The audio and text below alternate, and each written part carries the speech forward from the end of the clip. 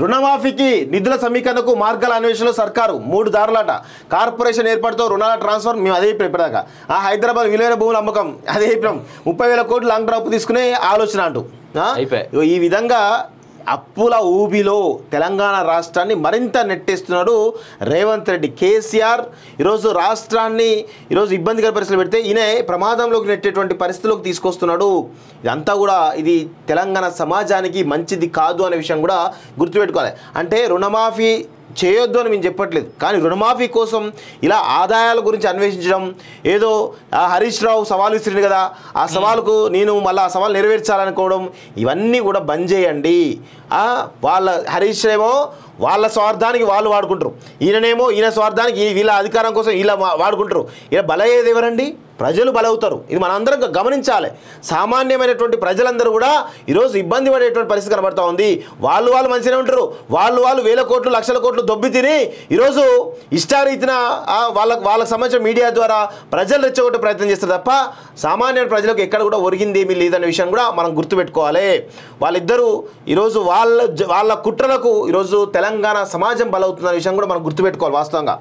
ఈ మూడే సర్కారు ఆప్షన్లు అంటున్న ఆర్థిక నిపుణులు ముందుగా అగ్రి సెస్ విధించాలనుకున్న ప్రభుత్వం పొలిటికల్గా భజనం అవుతామని వెనుకడు. పొలిటికల్ భజనం అవడానికి ఈ ప్రయత్నం తెలుస్తోంది. ఆర్బీఐ అధికారులతో రాష్ట్ర ప్రభుత్వం చర్చలంటూ కొన్ని చూస్తా ఉన్నాం. రుణమాఫీ జాబితా సిద్ధం చేయండి. పంట రాష్ట్ర వివరాలు సమర్పించండి. పదవి కాలం ముగిసిన సహకార సంఘాల ఎన్నికల నిర్వహణకు చర్యలు చేపట్టండి. ఆఫీసర్లకు మంత్రి తుమ్మల నాగేశ్వరరావు ఆదేశం అంట నా ఏది లేదు. బీసీలు కానీ ఎస్సీలు కానీ ఇటర్నాగం కానీ మీకు కావాల్సింది మీరు ఇక సహకార సంఘ ఎన్నికలు కావాలి. మున్సిపల్ మున్సిపల్ ఎన్నికలు కావాలి పంచాయతీ స్థానిక సంస్థల ఎన్నికలు కావాలి దానికి కనీస గైడ్ లైన్స్ ఉండవు ఏ ఉండవు మీరు ఎడ్ల రాజ్యం కావాలి తర్వాత కమ్మలు అందులో ఆధిపత్యం. చెలాయించాలి ఇదే జరుగుతోంది తప్ప ఏది లేదు ఇక్కడ భూముల విలువల సవరణ. రాష్ట్రంలో పెరిగిన భూములు స్థిరాస్తుల విలువ. మార్కెట్ వాల్యూకు వాస్తవానికి పొంతం లేదు. ఏడాదికి ఒకసారి అడ్జస్ట్ చేయాలి. ప్రాంతాల వారీగా సైంటిఫిక్ రివిజన్ జరగాలి. జీఎస్టీ ఎగవేత నివారణకు ఇకపై ఫీల్డ్ ఇన్స్పెక్టర్స్ ఆదాయ పనుల ఆదాయ వనరుల సమీక్షలు సీఎం అండ్ మంత్రులు అంటూ చూస్తా ఉన్నాం. పెరిగిన భూముల విలువ నిజంగా తగ్గిస్తే మళ్ళీ దేశంలో నెంబర్ వన్ స్థాయికి హైదరాబాద్ పోతుంది. దాంట్లో డౌటే లేదు. రైట్. Internal survey. ఏ ఏ వర్గాలు ఎవరికి ఓటేసాయనే దానిపై ఆరా. యాభై మంది కోఆర్డినేటర్లతో కాంగ్రెస్ ఎనాలిసిస్.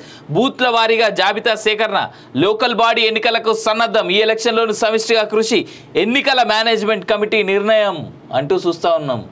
ఇంకో దీప్దాస్ మున్షి గట్టిగా ఇచ్చుకున్నట్టున్నారు అందరికీ? ఏం లేదు వీళ్ళ వీళ్ళు వీళ్ళ వీళ్ళ సర్వేలు వీళ్ళ ఇంటర్నల్ సర్వేలోనే ఈరోజు వాళ్ళ ఇస్తున్న సర్వేలో. అంటే కాంగ్రెస్ పార్టీ సర్వేలో మనకంటే బీజేపీకి ఒక సీట్ ఎక్కువ వస్తుంది వాళ్ళ సర్వేలు చాలా స్పష్టంగా తెలిసింది వాస్తవంగా. మాకు తొమ్మిది వస్తాయి.